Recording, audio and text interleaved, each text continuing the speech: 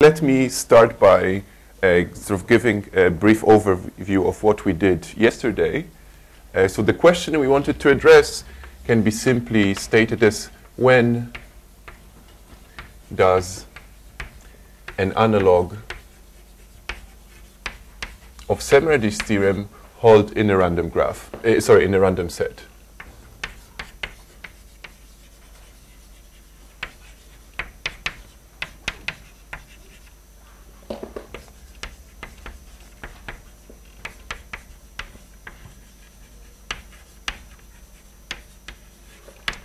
So here we choose a set R uniformly at random from the collection of all subsets of the first n integers which contain m integers. And there was a fairly simple uh, argument which said that it cannot be true if m is not at least n to the power k minus 2 divided by k minus 1. So answer certainly no. If m is much smaller than n to k minus 2 divided by k minus 1. And the rough argument was that in a typical such set, the number of arithmetic progressions is so small that by deleting just, say, 1% of the elements, we can delete them all. So, of course, there will be massive sets with no k-term arithmetic progressions. Now, there was a general approach to this, to such questions uh, developed by Conlon and Gowers and independently by Matthias Schacht, uh, who considered this problem in a much more general framework. So here we had some uniform hypergraph H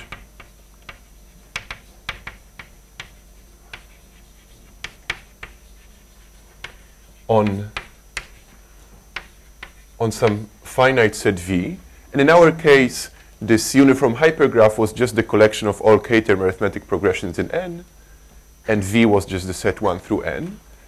And Szemerédi's theorem in this language says that the independence number of this hypergraph, so the maximum number of, of elements we can take in a subset of V so that it doesn't contain any k-term arithmetic progression, is little o of n. So this is the k term APs in N.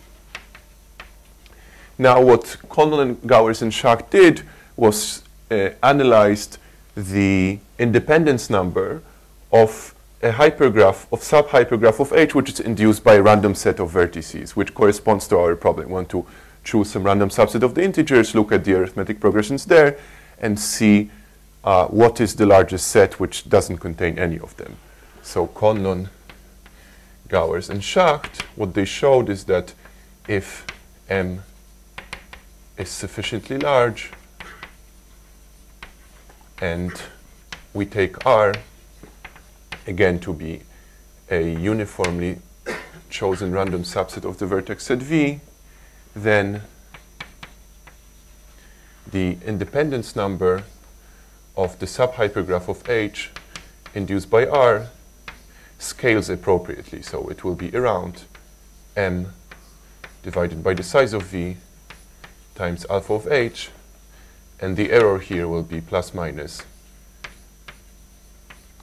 little o of n. So the methods they used were, were quite different.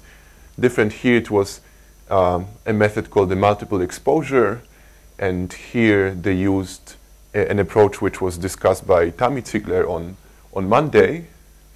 But looking at this, looking at this equality, so the uh, lower bound here is, is, is pretty much trivial because it's enough to fix a particular set of size alpha of h and a typical set which will have roughly this intersection with the set. So the game here is to prove an appropriate upper bound. And one so one idea how to prove such an upper bound is just by saying, okay, let's look at the collection of all independent sets of this size.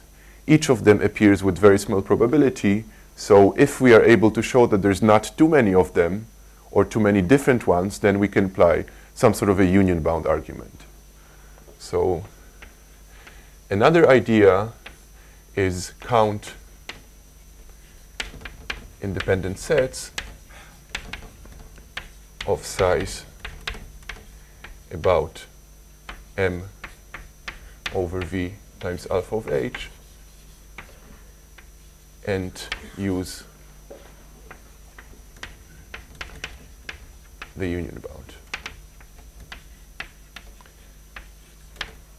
So such very naive approach doesn't work for all sorts of problems, but whenever this is satisfied, whenever the independence number is, uh, is little of the number of vertices, then this approach indeed holds. And this is what happens in the setting of Szemerédi's theorem. So our goal last time was to prove the following theorem uh, for every k, at least 3, and positive beta, uh, there, there is a constant c such that if m is at least a large constant times n to k minus 2 divided by k minus 1, then the number of sets A of size m among the first n integers which don't contain a k term AP, this is at most a beta to the n proportion of all sets. So this is a sub-exponentially, sorry, beta to the m proportion, sub-exponentially small subfamily of all sets on m elements. And so from here, from this statement, was very, very easy to, to derive the random statement we're interested in. So let me just remind you briefly the proof. So the corollary was that if m uh, is at least, sorry, if, yes, m is at least some large constant times n2 k minus 2 divided by k minus 1, uh, then uh, the probability that this random set R, so here R is again a uniformly randomly chosen set of size m among the first n integers, the probability that R uh, contains a AP free K AP free set with delta m uh, elements, this was exponentially small in m. And what was the idea? Well, we just counted the sets which contain a large k-term AP-free subset. So proof was count the bad sets using the bound from the theorem.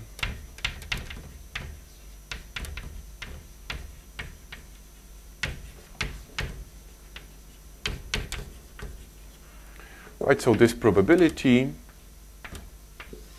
so among all n choose m sets, we need to choose, enumerate the bad ones. So if a set is bad, it means it contains a subset of size delta m, which belongs to this family. And the number of choices here uh, is n choose delta m multiplied by this very, very tiny factor. So it's n choose delta m times beta to the m.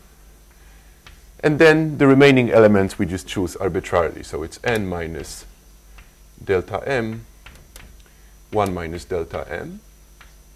And this is equal to beta to the m uh, times m uh, choose choose delta m and now uh, if we choose beta to be much smaller than delta then this will be exponentially small in m. Right, this is some exponential in m, uh, so this is 2 to m times the binary entropy uh, of delta, and this function goes to uh, 0. Sorry, this is b beta to delta m, because we're selecting a set of size delta m, and this goes to, uh, to 0 as, as delta as delta tends to 0. Um, sorry, we, actually we need something, something slightly stronger. We need to show uh, that, so if we multiply this, it will be uh, e to delta m times log beta minus h, sorry, plus h, h of delta divided by delta. Uh, and now we just need to show that s delta tends to 0 this term will tend to zero and this term will, will dominate. Uh, so, sorry, modulo these computations, which I now messed up, um, this statement is a fairly easy consequence of, of this particular bound. So today, I'll, uh, I'll convince you that this, this bound is true. And we'll derive this bound from the characterization of independent sets in the hypergraph of arithmetic progressions.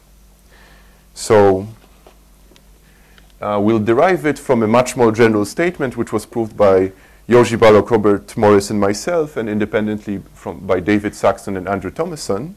So let me remind you what the statement was.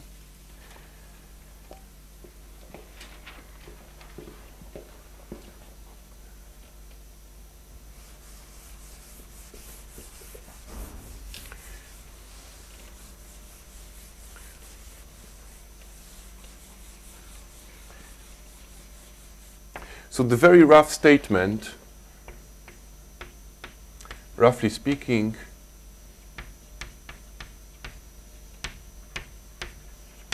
if we have any uniform hypergraph, so say here H is K uniform, then the collection of all independent sets in H, these are independent sets in H may be covered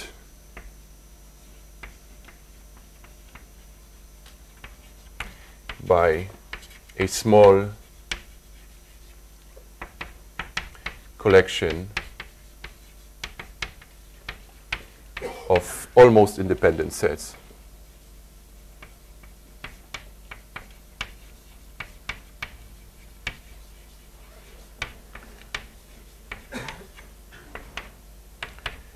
So this is, this is the rough idea. And why is such a, why is such a statement useful? Uh, because now in order to count all the independent sets, uh, since this family is really, really small, it's enough to count the independent sets contained in each of the almost independent sets. So this will be so small that actually summing over all these, these containers will just give a negligible, uh, a negligible increase in the count, and roughly the number of independent sets will be more or less equal to the number of subsets of each of these almost independent things. And then there will be another part of the argument, which will be specific to the problem. We have to characterize these almost independent sets in order to give any meaningful bound. In the case of Szemerédi's theorem, we already proved last time there was this average, averaging argument uh, on, the, uh, on the circle which proved that, deduced from Szemerédi's theorem, that every subset of the first n integers, which contains only very few, less than quadratically many arithmetic progressions, has to be of size small constant times n. So by an averaging argument using Szemerédi's theorem, uh, if if H uh, is the collection of k-term arithmetic progressions, then almost independent implies size is little o of n. And now, uh, to conclude this theorem, I mean, we have a small collection of these. So we want to count all independent sets. Now, uh, let's enumerate them. For each one, we know it's contained in, in one of these elements of this small collection, so we just multiply by their number. And each of them uh, is contained in this almost independent set. So we know that the size of the set is little o of n, so the number of subsets of it will be little o of n choose m, and this will, this will conclude the bound. So the details maybe are a bit more intricate, but this is, this is the rough idea. Now, so, so this proof has two parts. This characterization part, which just depends on the problem itself, and the fact that such a phenomenon occurs, uh, it's, it's a general phenomenon which, uh, which depends only on uh, sort of the, the distribution or the uniformity of, of degrees in, in this hypergraph H. So uh, let, me, let me restate the theorem which implies this.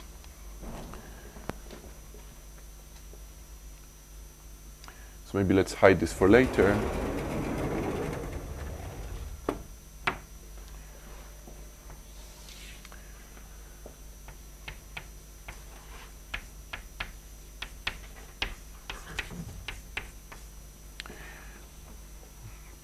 So the theorem says the following. For every given uniformity, k, uh, a constant c, and a, con a, constant epsilon, which will here denote the precision, uh, we have a constant c such that the following the following holds we take any uniform hypergraph H, H is a k-uniform hypergraph, and F is, an in, is a family of subsets of, of the vertex set of H uh, with the following property. For every subset A in F, the number of edges that this hypergraph has in A is at least an epsilon proportion of everything. So you can think that F contains sets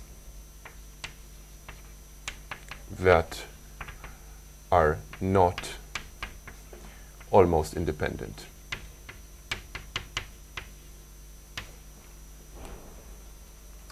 Now, uh, furthermore, we, we assume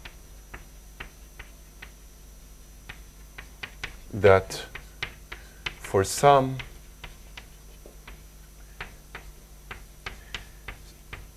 some number p between 0 and 1, uh, we have the following conditions. For every L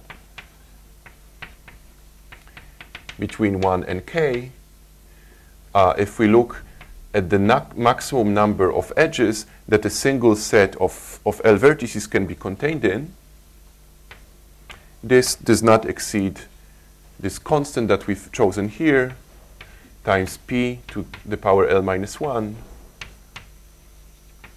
times E of h divided by V of h. So right now, um, I will not explain uh, why these conditions are necessary. So maybe just few comments. If we, uh, if we here input L equals 1, then it says that the maximum degree is at most a constant times, times the average degree. So it means that this graph is not very far from being regular. And the other conditions say something about the distribution of edges. I mean, they say that you cannot have a small set which contains too many edges. And this is, um, I mean, this depends on, the, on this parameter p. This condition becomes much harder and harder to satisfy the smaller p gets. So it's easier to satisfy when, for example, when p is equal 1, then, then this only depends on, on the value for L equals 1, because if the one degree is at most the average degree, then all the other degrees are as well. So how does this constant p come into play? This constant p uh, will quantify the notion of small here.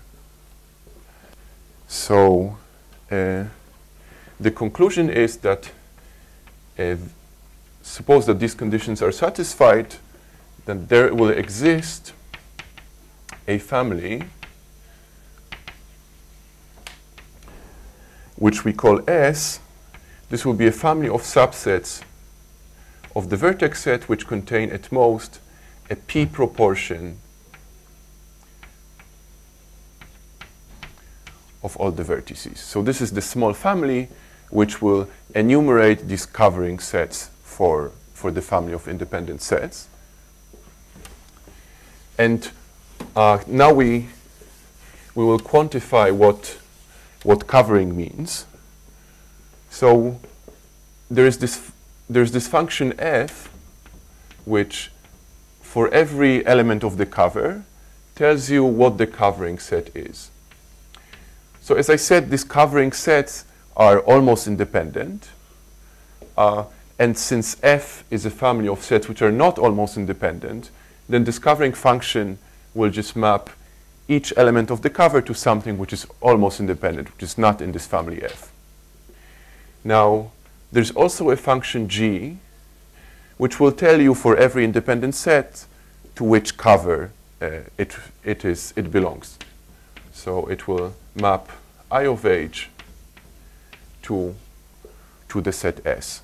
So now we take an independent set, we get some, some label, and then to this label, we already earlier assigned some almost independent set. So this, uh, this set I will be contained in f of g of i. So for all i in I of h, the set I is contained in f of g of i. This is only very roughly. For technical reasons, uh, we will also I mean, require this is this can be proved that the, the every set is labeled by a subset of itself.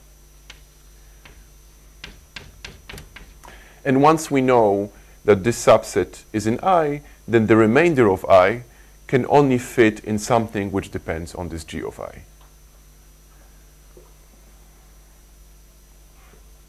Okay, so let's uh, let's maybe look at it again.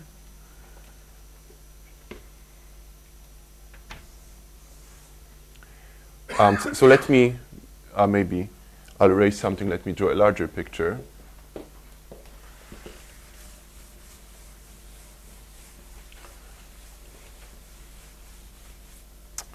So again, let's draw this power set of V. Here's the set V. Here's the empty set. And somewhere here, we have the collection of, of independent sets. These are, these are sets which are small in this, in this power set. Now, somewhere here, we have this collection F. These are subsets on which in which the hypergraph has many edges. So say these are sets which contain many arithmetic progressions, these are sets which contain no arithmetic progressions, and these are sets which contain, which are almost independent. They don't contain many, but maybe, maybe they contain some. Now here, on the very bottom, we have this tiny collection, because we will think that P is small, tiny collection S of, of labels. And now each label is mapped by by this function f to something which lies below f. It's not necessarily independent, but it's not far from independent. So this is f of s. These are almost independent. Now, and what is the property? Um, if we look at any i, i is mapped by this function g, this labeling function, to some, some subset, which, which is down here.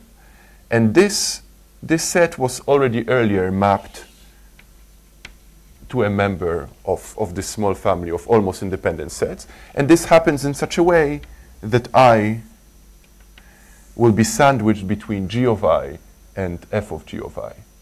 So in other words, if we look at the families of all subsets of the sets here, then they will cover this entire thing. Because every set is below something here. So this is the, this is the idea. Uh, and um, now let me show, uh, yes?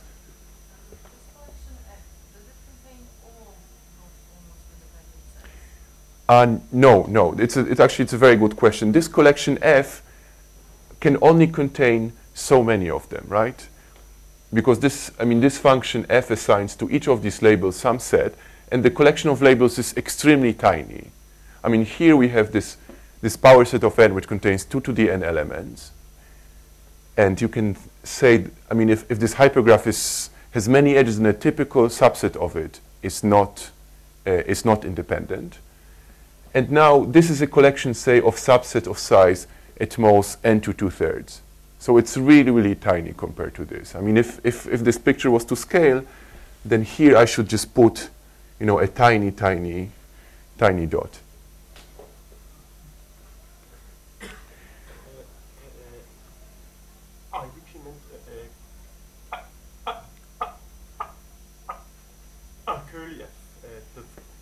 Oh, you mean meant curly f? Uh, sorry, so can you can you repeat your question again? no, so it okay, and okay, it's, it's another very good question. Um, so, of course, somehow you would like the collection F to contain all the sets which are not almost independent, uh, but uh, and but we can only so, so somehow it's very hard to describe uh, the collection of all sets which are not independent. So for example, for the k-term arithmetic progressions, there is no sort of necessary and sufficient condition.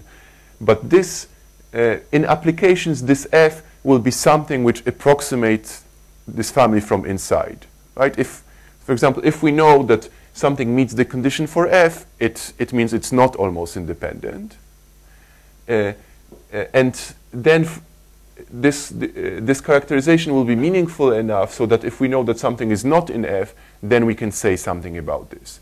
So for example, in the setting of k-term arithmetic progressions, we take F to be family of all large sets, and we know that each such set is not almost independent, but maybe there are other sets which are not large and still contain uh, many arithmetic progressions. So towards you said something that uh, all the FSs, their shadows contain all the Yes.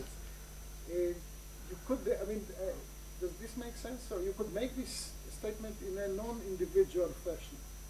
Uh, so just there is this small set of shadow contained without the F's and the G's. Uh, yes, so this is this is this is true, and for for yeah, it's a weaker statement. For some applications, this is sufficient, uh, but for some applications in uh, in random graphs, say if you don't know that so let, maybe let me explain it uh, on an example. Say we want to prove uh, the random version of Turan's theorem, Mantel's theorem, that the largest subgraph of GNP contains only half the edges. Now, uh, the, how, how the proof will go, we will just want to say, okay, each triangle-free graph is contained in one of these sets in the collection. So we take the union bound, if, and if we know that GNP doesn't intersect any of the sets here in more than half the edges, then then we already uh, derive the conclusion. But the problem is that if we had to enumerate over all of them, uh, then uh, this union bound would be too large to work at the threshold. Uh, and instead, if we know that this labeling function is a subset of, of the set in question, then we have the additional condition that the label itself must appear in GNP.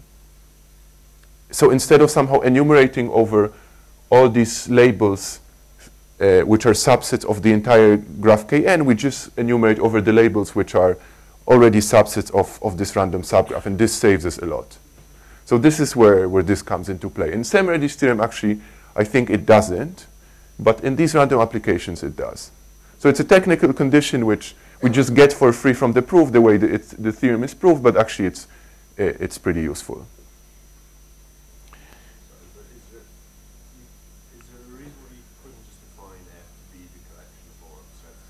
No, of, of course. Yeah, I can, I can say that, yes, somehow uh, it's just, uh, sort of in applications for convenience, anyway, we need to define some collection which approximates f, so we did it uh, in the theorem. But, but here, of course, uh, it's, it's best to, to replace f by f, say f epsilon, which is just the collection of all subsets of V, such that the number of edges induced by A is at least epsilon times E of H. So this is the optimal family you, you have to take here, and every family F which satisfies this condition is clearly contained here. So this is the, the optimal choice. But the, I mean, this, so the idea was that it's very difficult to understand this family, whereas you can give some sufficient conditions uh, defining this family. Okay, so let's let's try to now prove the theorem.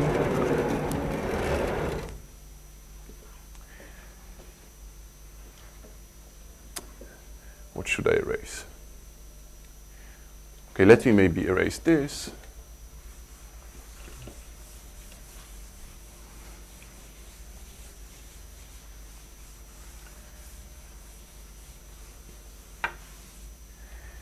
Now, what we did yesterday is two things. We, we said that the family F, which is the collection of all subsets with at least uh, delta delta n elements, uh, works satisfies the condition. So this was there was this average averaging argument, and the second was that if I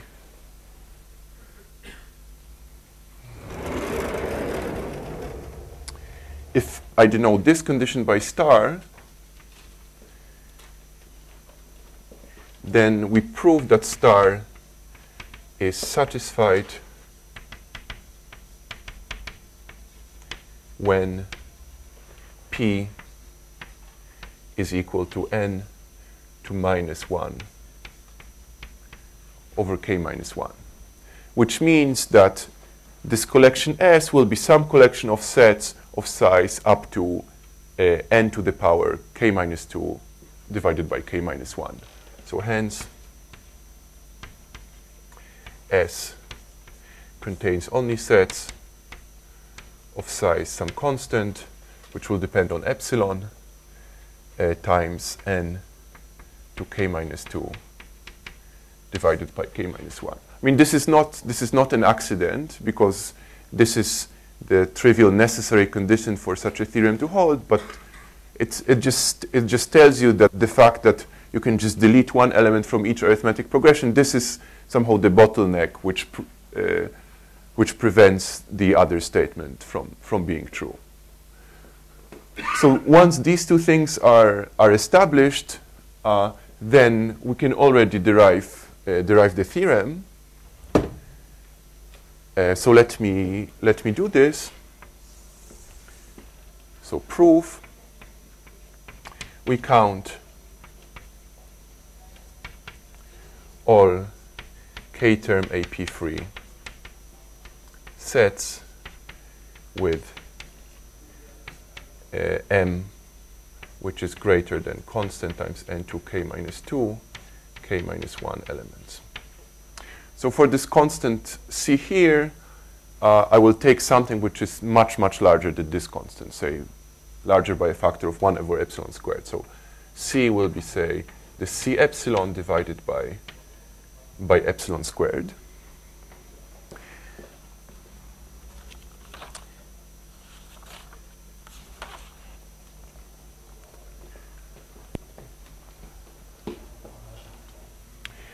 Uh, okay, so we want to use we want to use the theorem.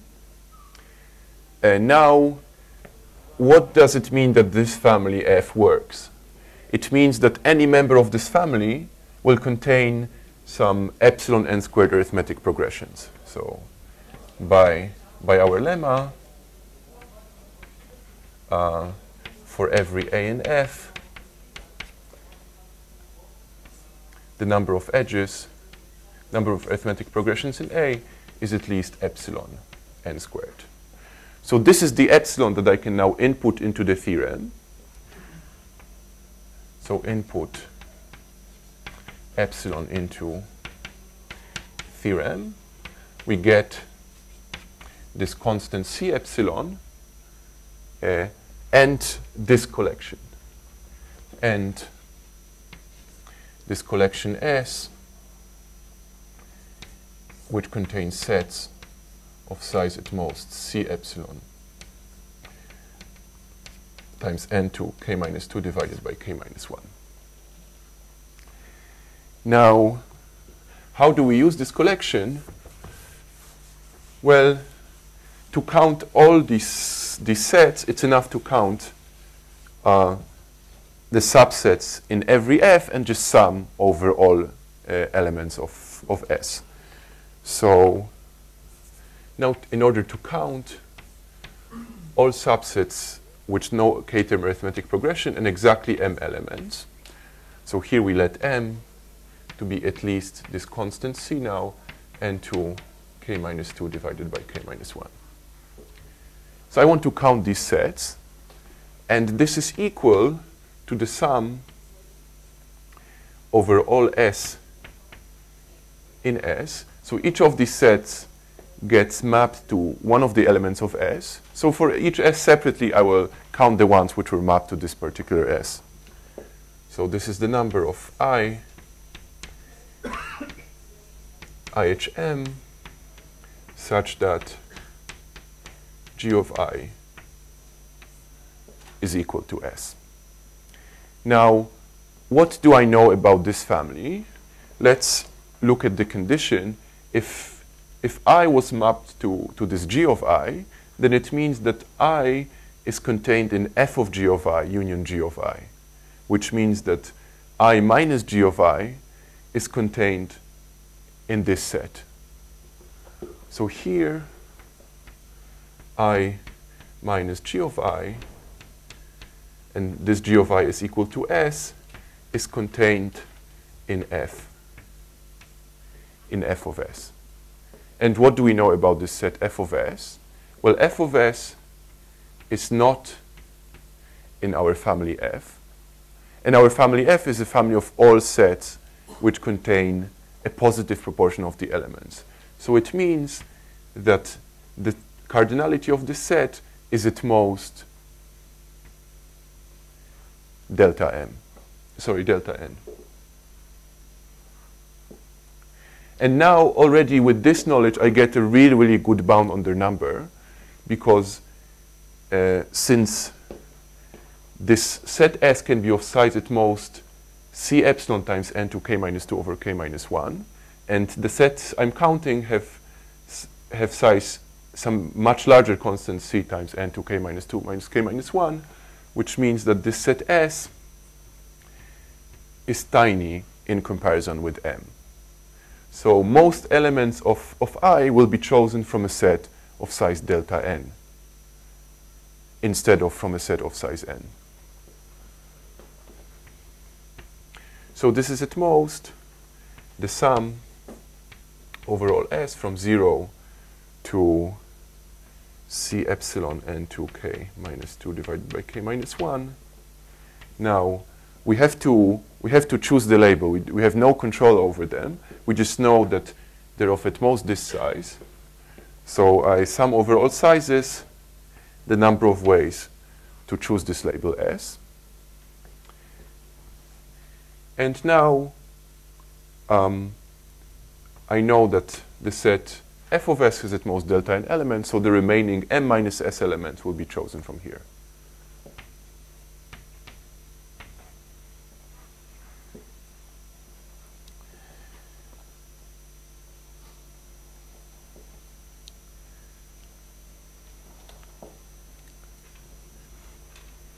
So now it's a it's a fairly it's a fairly simple uh, calculation.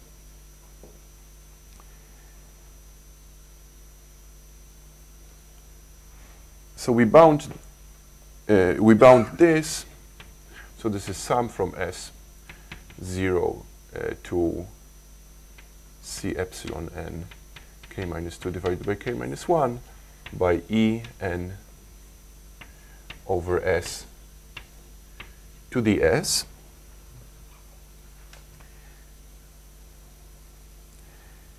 Uh, and this is at most m uh, divided by delta n minus m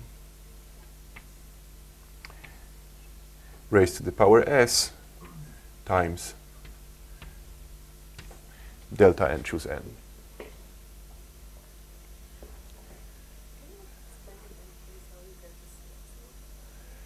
Uh, how I get this? Sure.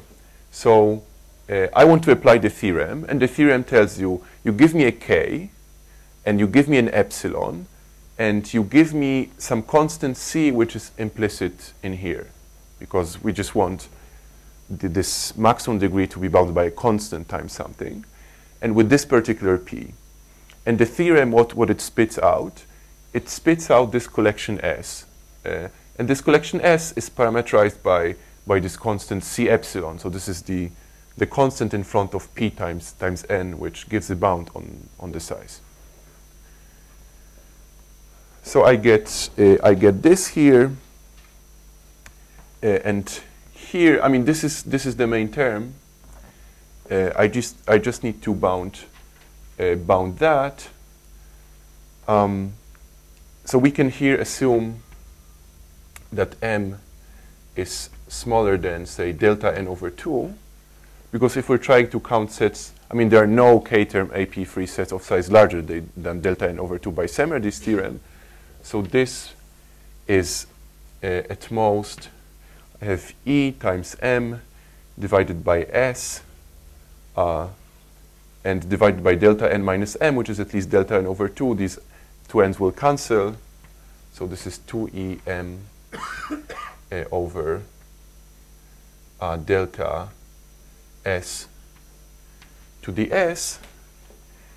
And now such, such functions are increasing in s. So again, this is at most, the largest it can get is, is at the top here, but this is still a tiny proportion of, of m. So this is at most 2em divided by delta times, say, epsilon m raised to the power epsilon m, uh, which is just some, some constant to the power epsilon m. So I have that this is at most d to the power epsilon m times delta n to the m. And delta n to the m is at most 1 half to the power m times 2 delta n choose m. And even if I stick here this d to epsilon m, then if I make epsilon sufficiently small, then this will be smaller than 1. yeah, sorry about the, so the computations are kind of messy, unfortunately. Um, the binomial coefficients are not so easy to work with, at least I don't know of any clean, uh, clean way to, to express it. Maybe if you want to sort of convince yourself that this is true, uh, maybe the most uh, natural way to do it is to denote this by, say, f of s. Oh, sorry, not f, yes uh, not G, yeah, not G phi, okay. So if this is a phi of, of S, then one can easily compute phi of S plus 1 divided by phi of S, and then use a telescopic product because you know that phi of 0 is just delta n choose n. And then you just show that uh, if you increase S not too much, then this, this doesn't grow too much. So th this I would recommend to to maybe check it uh, check it at home. Uh, okay, so uh, I hope it was clear enough. But maybe if you have some questions, then I'll be happy to to answer. So I mean, here you just have to take a leap of faith and believe me that I didn't cheat you with these computations. But the I mean, the idea is that we choose say 1% from a set of size n and 99% from set of size delta n, so it's, all, it's not much different than choosing from everything from a set of size delta n.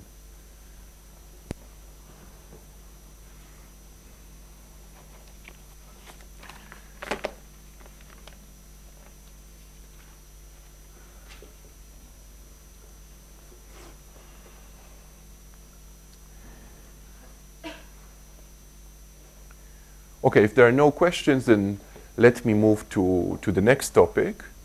Uh, and the ne next topic will be another application of, of containers theorem, but now to a somewhat different question, to the question of characterizing graphs which don't contain a fixed subgraph H. And maybe just to make things uh, more concrete, let's for throughout the I mean throughout the lecture assume that the graph the forbidden graph H is a triangle. I mean because somehow this is the most studied case.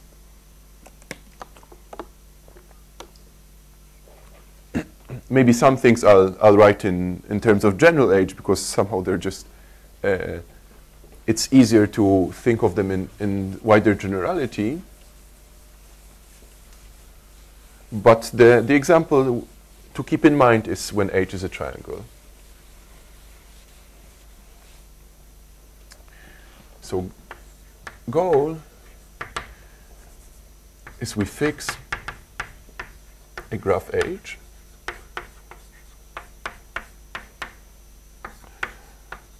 say we think it's the triangle, the only actually restriction on the graph H is that it is not bipartite.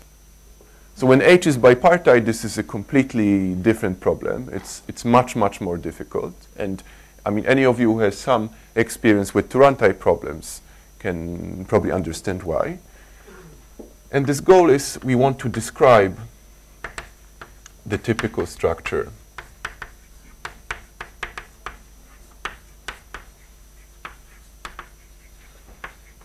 of an H-free graph.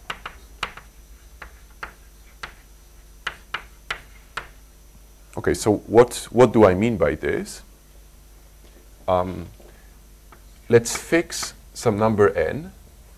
We fix some vertex set of size n, say 1 through n, and uh, we consider the family f and h.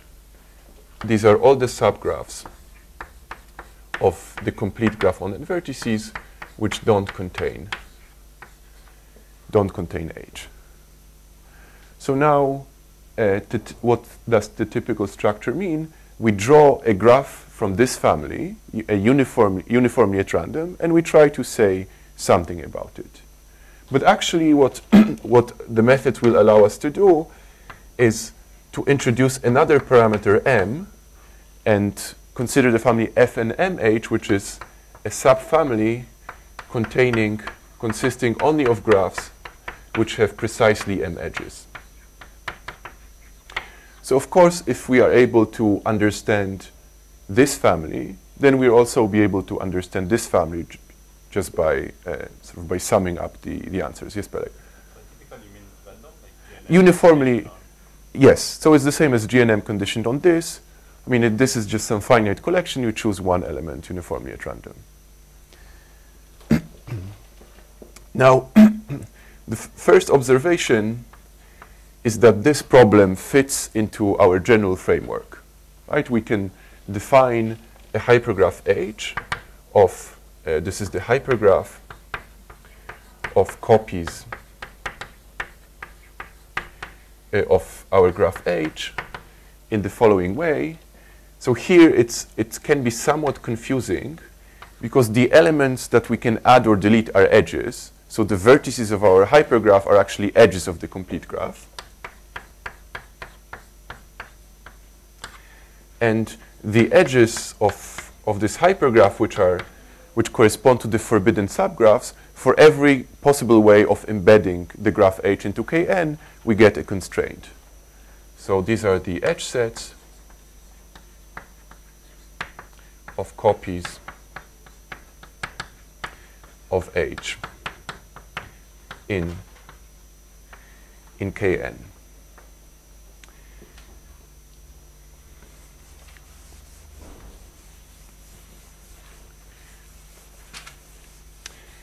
Now,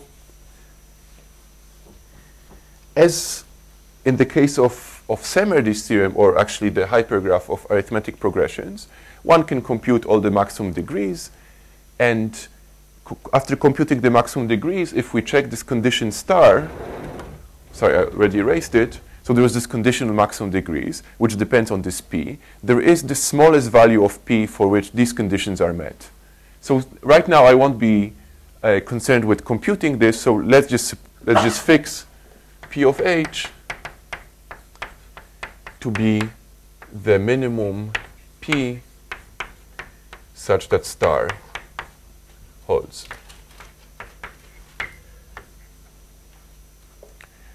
And now, uh, for, for the triangle, just to have some point of reference, this will be 1 over square root of n. So it's, it's, it's, it's pretty small. Now, so let's, let's, apply, the let's apply the theorem. Uh, and we get some description uh, of this family. Right, so corollary of the, th of the theorem for this particular h and this value ph, uh, what does it say? For every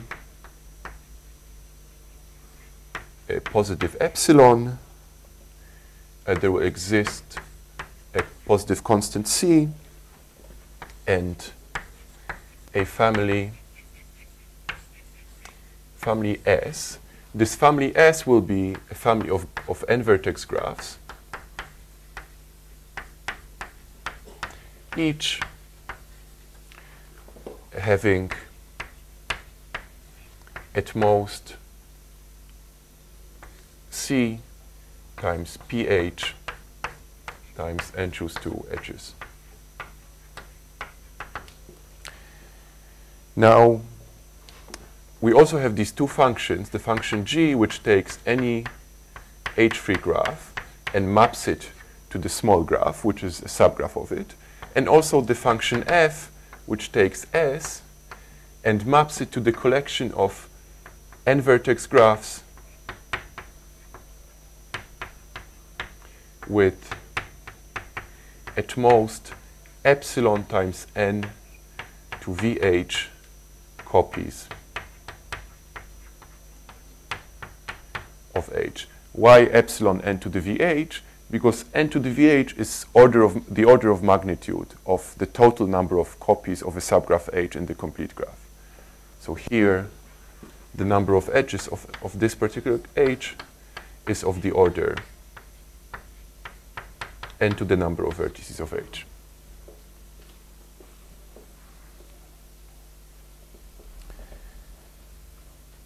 And what is the condition for every G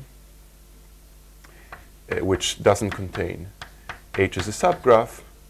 This G is sandwiched between G of G and F of G of G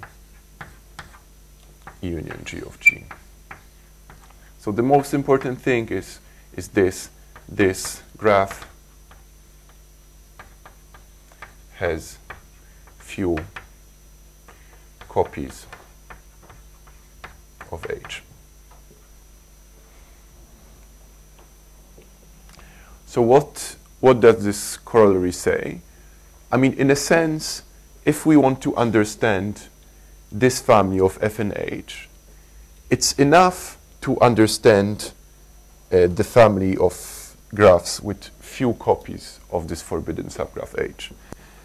Uh, so what, I mean, somehow maybe it doesn't seem like a simplification because I said we want to understand the family, the graphs with no copy of H, and then we say, okay, so it's enough to understand the, the graphs with few copies of H. Uh, but since this is a counting problem, we're really uh, interested in the bulk of, of the family. Um, let's first consider you know, a, a, lower bound on, on f and h. And everything which is much smaller than this, this trivial lower bound, we can just uh, we can just remove from consideration because it will be a minority. So for this, um, let's review the, I mean, I hope every one of you is familiar with this definition. Ex and h is just the maximum number of edges in a graph G which doesn't which has n vertices and doesn't contain a copy of H. So now uh, what is what is the conclusion from here? Well, first of all, uh, f and h is clearly uh, at least 2 to the power ex and h, because every subgraph of this maximum graph is, is also h-free. But more generally, f and m of h is at least ex and h choose m. Any subgraph of this maximum graph with m edges is, is clearly. This, so this f is completely different from the one that we had in the theorem. right? Yes, I'm So, so yes, yes, I'm I'm so sorry. Uh, yeah, this is like it's, it's the opposite. It's quite the opposite. uh, It's yes, it's should be I, it's it should be yeah, it should be called I. Yes, I'm sorry. It's a really bad notation. Somehow this is the standard notation. I'm I'm very very sorry for that. I I should have thought about it, but maybe now if I if I change it, then I will keep confusing it. Uh, so now we have this lower bound, and uh, together with this, what does it tell tell us? Well, if if we look at uh, any of these f of g of g, so f of s, if this f of s, so if f of s has fewer than ex and h minus the logarithm of the size of its edges, then um, all subsets, all subgraphs of f of s, of all such f of s, are a negligible proportion.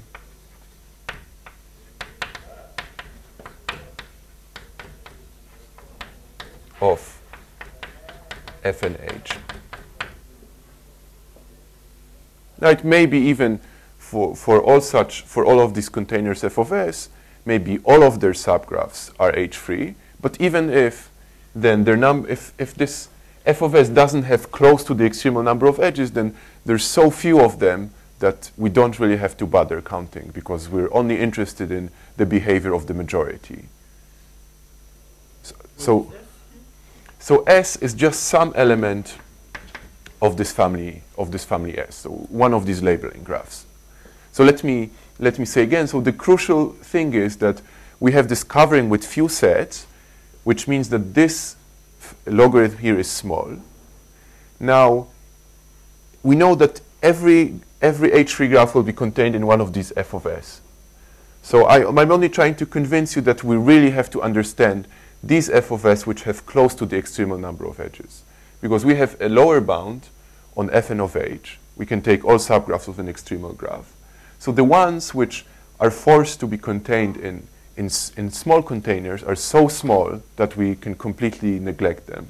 And therefore focus now only on understanding graphs which have few copies of h and close to the extremal number of edges. And this is a much, much sort of more manageable task because we can use all sorts of uh, results from extremal graph theory to, to say actually something meaningful about such graphs f of s.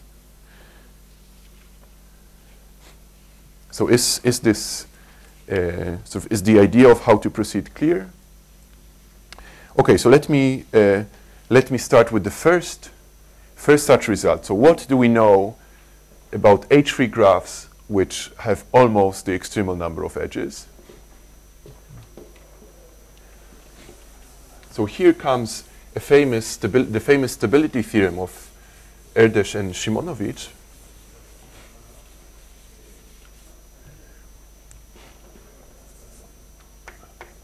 Let me state it maybe in a fuller form. So first there was the theorem of Turan, then Erdős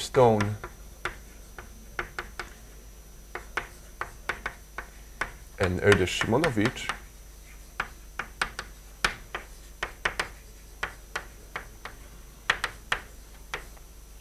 So first of all, for every h, um, the extremal number of h is dictated by the chromatic number of h.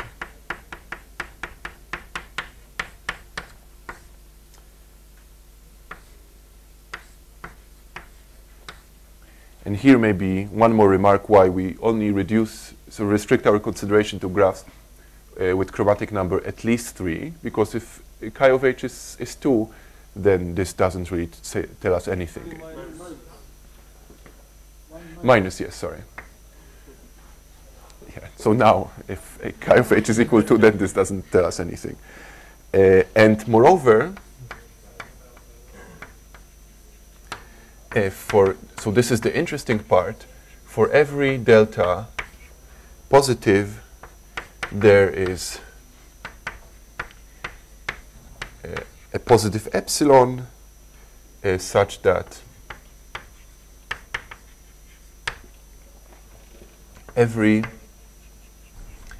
H-free graph G uh, which contains at least the extremal number of edges minus uh, epsilon n squared may be made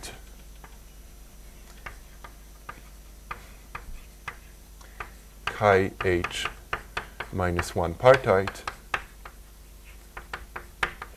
by deleting at most delta n squared edges.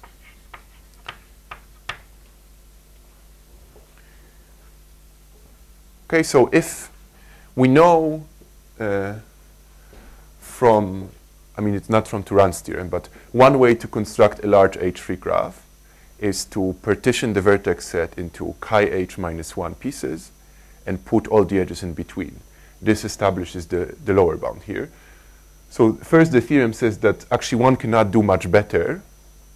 That's one. But second of all, if one wants to get close to the optimum, necessarily the graph that achieves it must, must be close to this construction. So this is in fact the only way uh, to create a large H-free graph.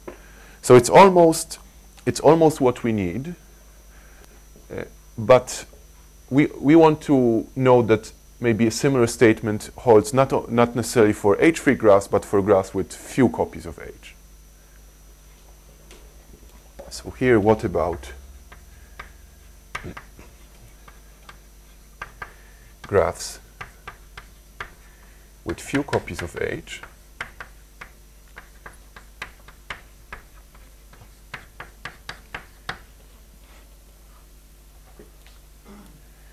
So uh, the first statement that maybe some of you or even most of you know is the famous supersaturation theorem of Erdős and Simonovits, which says that if a graph has significantly more than than this number of edges. If I replace this little of 1 by some fixed epsilon, then I already get the, the maximum count of, uh, of copies of H. So let me, let me write it down and prove it for you. It's a theorem of Erdős and Simonovits. Uh, says, which says that for every h and positive delta, there exists some positive epsilon uh, such that any graph G with where the number of edges of G is at least Ex and H plus delta n squared contains at least epsilon times n to vh copies of h.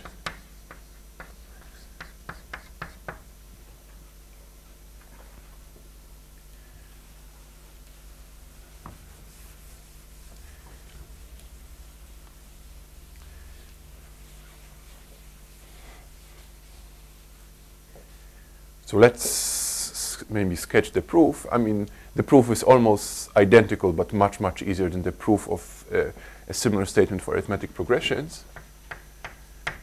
So take such G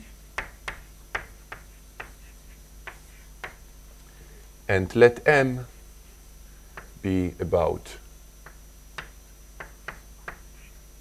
1 over delta. Now choose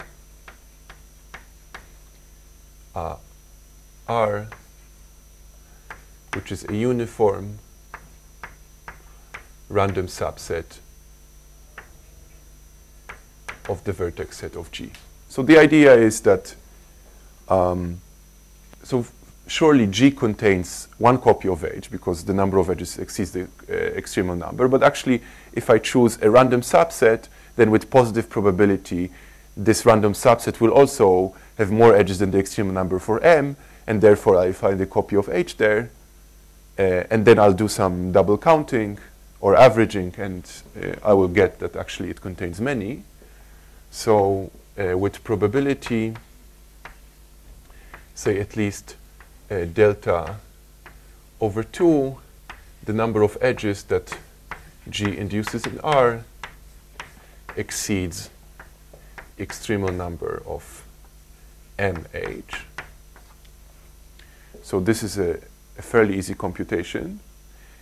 And therefore, in whenever R is such, then G of R contains a copy of H by definition of this number. Hence, the expected number of copies of H in G of R is at least delta over 2. But there's another way to compute this expectation just by using linearity. For every possible embedding of, for every possible copy of H in the graph G, what's the probability that it will survive this random selection? So this is more or less the number of copies of H in G times, well, the first vertex needs to survive, so m over n, m minus 1, n minus 1, m minus vh plus 1 divided by n minus v of h plus 1. This is about the number of copies times m over n to v of h. And for all purposes here, m is a constant. m depends only on delta, and we get, uh, we get the claimed bound. Okay, so this tells us that uh, in our characterization, uh, all these sets f of s do not contain uh, more than this number of, of edges. Uh, but actually, we would like to say something more. We would like to say that if they contain close to this number of edges, then they have to be almost chi h minus 1 partite. So for triangle, if uh, we want to know that for every such graph, which is in this collection, if it contains close to n squared over 4 edges, then it is almost bipartite. And why would such a statement be, uh, be useful?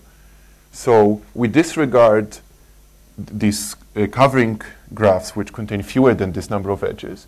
And if we know that uh, each one which contains more than that is close to bipartite, then a typical subset of it will also be close to bipartite, which would then mean that the typical triangle-free graph is almost bipartite. And that's, yeah, th- this is the whole philosophy. Yes. The reason that the expectation is more or less the number of copies of HG is that So this- is? No, so this is actually an equality here.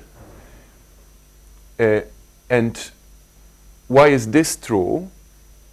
So, so the, the reason I chose m to be about 1 over delta, it's somehow it's, it's, a, it's a little delicate uh, because uh, you're comparing n choose 2 times 1 minus 1 over chi h minus 1 plus, uh, plus delta uh, to uh, 1 minus 1 over chi of h minus 1 uh, m choose 2 um, uh, I mean the uh, so the, the idea here is that so you look at the graph right and then you count for what what says the density is smaller than that.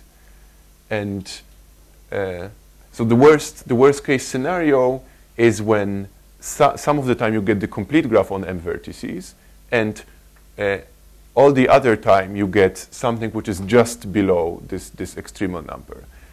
And you can't take uh, m to be sufficiently small because of this ratio of, of n choose 2 and, and m choose 2.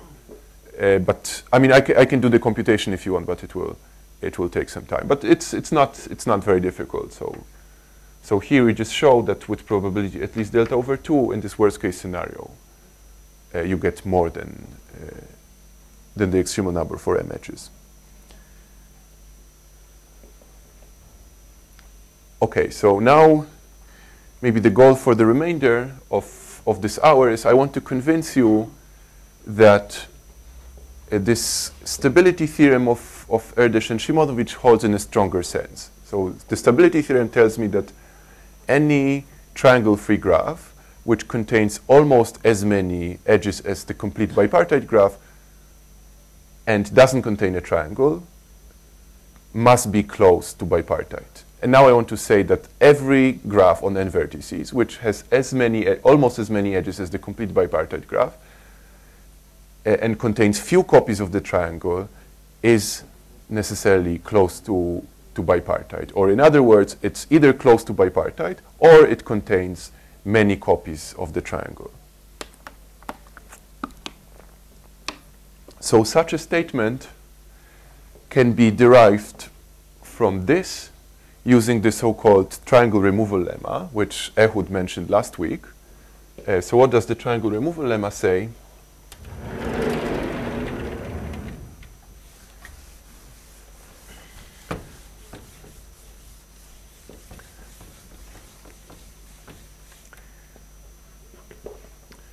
Theorem, which is the triangle removal lemma, due to Ruzsa and Szemerédi,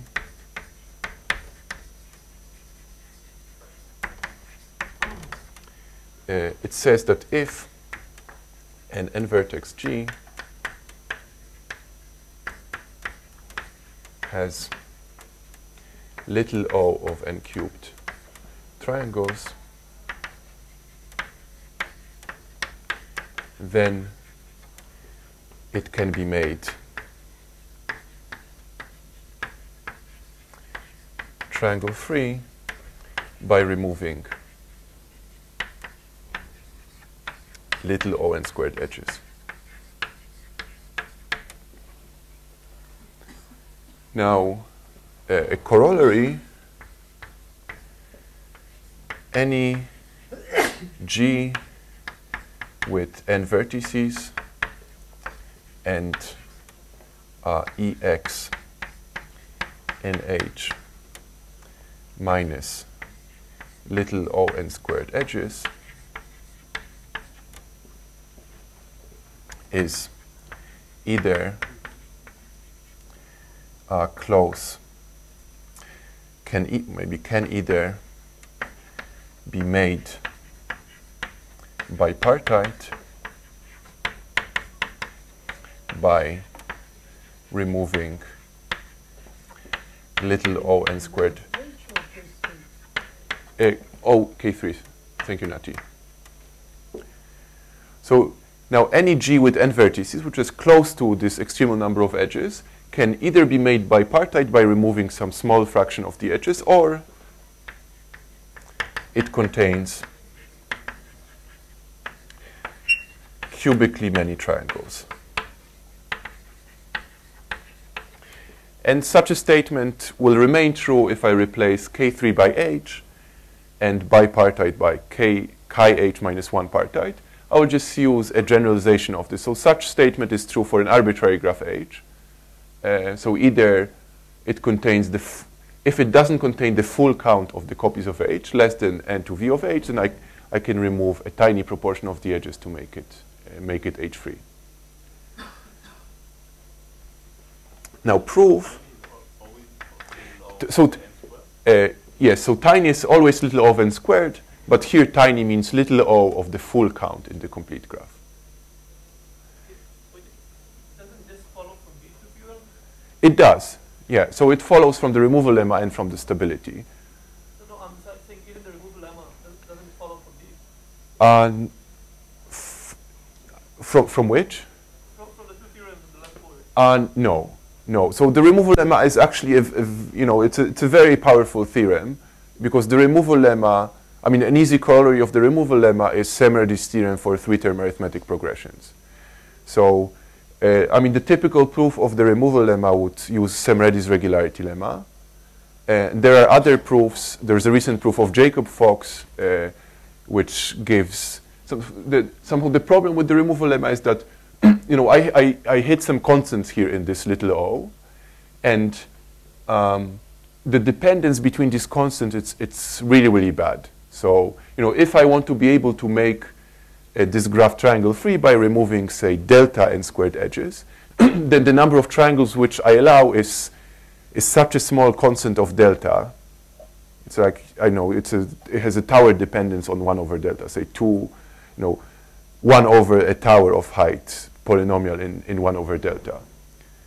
Uh, so so it's a it's a it's a difficult theorem, but indeed this corollary easily follows from the removal lemma and this stability. so why? I want to prove that either this holds or that holds. So suppose I have few triangles. Right, so suppose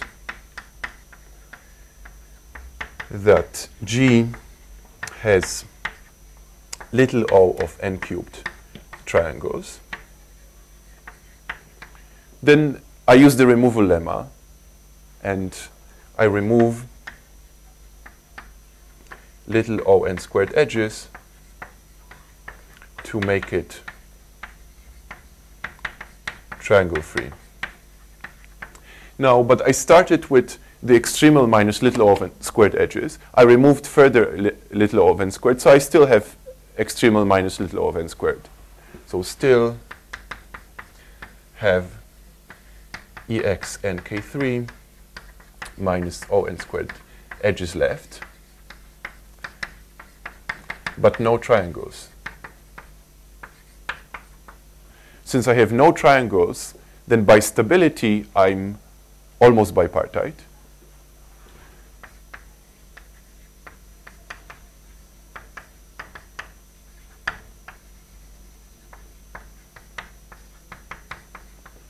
But now the difference between you know, th this new graph and the original graph is, is just a little o n squared, so I have to delete twice little o n squared to get to bipartite.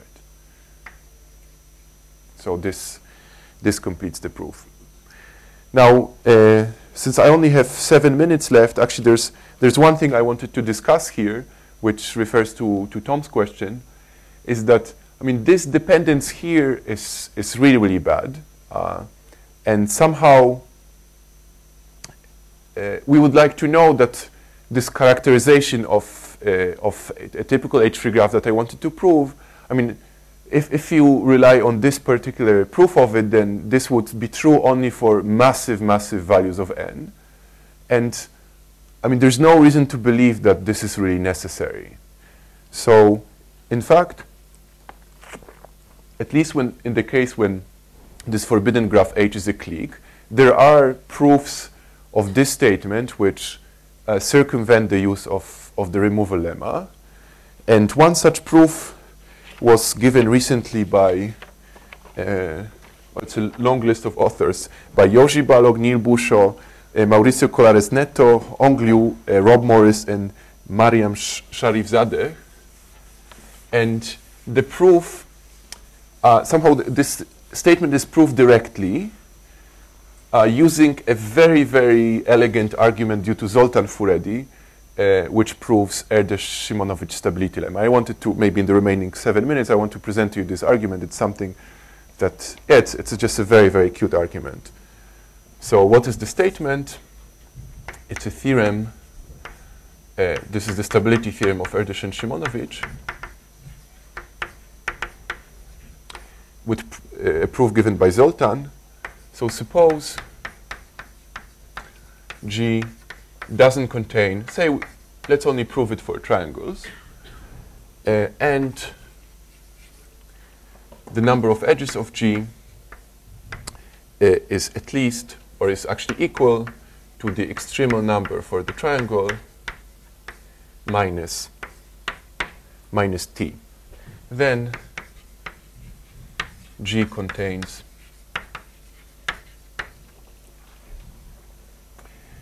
a bipartite subgraph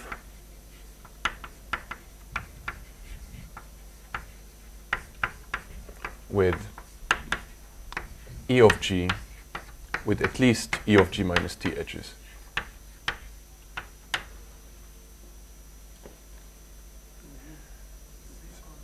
Same constant, yeah. So it's the, the argument is, I think it's it's really really beautiful.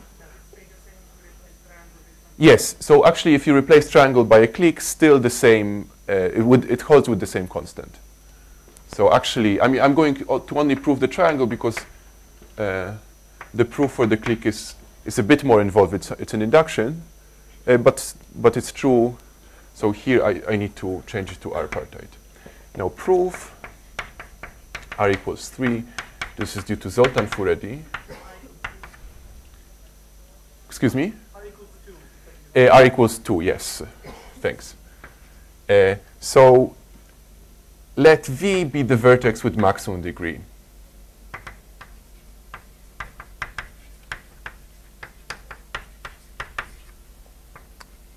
Let's look at V. Now, let's look at the neighborhood of V. Say, denoted by delta. Now, this graph is triangle free, so I see no edges here in this neighborhood. This is empty. Now, it has delta uh, it has delta elements. So let's look at the remaining n minus delta vertices. Among them, there's v. So every edge in this graph has to touch this set because there are no edges that are completely contained in here.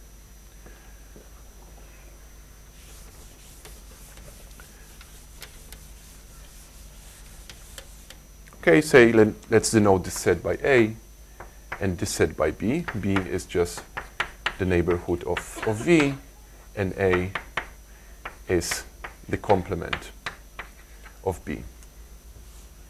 Now, let's count the degrees, uh, the degree sum in A. Sum over all W in A, the degree of W. Now, uh, what does it, what do I get? Well, if an edge stays within A, I count it twice. If it leaves A, I count it only once. So this is equal to twice the edges of A plus the edges between A and B. Now, uh, on the other hand, I know that V was the maximum degree vertex, so no vertex in A has more than delta neighbors. So this is at most the number of such vertices, which is n minus delta, times delta. Now, this is just the number of edges in a, a bipartite graph, complete bipartite graph of sizes delta n minus delta, and the Turan number is the largest such, such graph. So this is at most Ex n k3. Now, what do I get here? It's the uh, number of edges of G plus plus E of A. Uh, but the number of edges of G, we assume that it's exactly equal to to Ex to the extremal number minus T, which means that the number of edges in A is at most T. But now, if I delete the edges in A, then I will have just the complete, sorry, the bipartite graph between A and B. So it's, I think it's a really, really beautiful argument. Mhm. Mhm. copy. simple- It's essentially the, yeah, the, the same idea, but somehow it's surprisingly also, it's, it's really amenable to induction and you can prove it for, for every, it's really, really nice. Okay, I think I'll, I'll stop here for today.